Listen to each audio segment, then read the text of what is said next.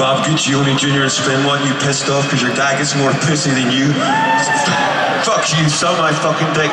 You've been ripping off the kids while they've been paying their hard-earned money to read about the bands they want to know about. I've lost it.